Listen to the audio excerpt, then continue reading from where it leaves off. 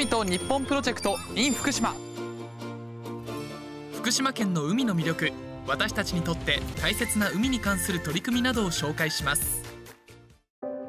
アメリカ中国など世界35の国から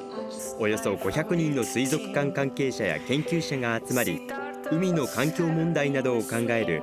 第10回世界水族館会議が今月5日から6日間の日程でいわき市で開かれました。世界水族館会議は4年ごとに開かれていて日本での開催はおよそ20年前に東京の葛西臨海水族園で開かれて以来2回目となります。今回はアクアマリン福島が主催しました。災害もあって立ち直ったというところでね海外からも支援もいただきましたんでね、まあ、それに応えるっていう意味合いもあります。世界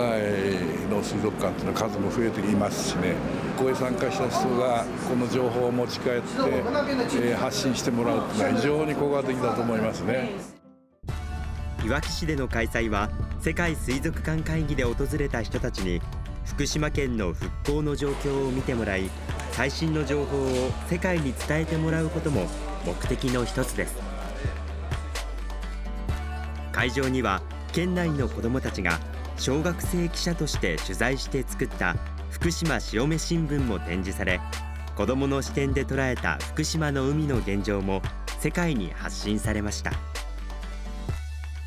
会議では海に流れ込む小さなプラスチックごみの問題がテーマの一つとなり自然に分解される環境に優しいプラスチックを開発したいわき市出身の小松道夫さんが講演しました。私の製品で使ってるポリ乳酸はコンポストや海中で生分解しますポリ乳酸製品の普及によってマイクロプラスチックを大幅に削減ができるようになります海山川の綺麗なところですからねその循環がスムーズにいくようなことが大事だと思ってますんで環境を体験する活動を今まで以上に活発にやっていきたいと思っております。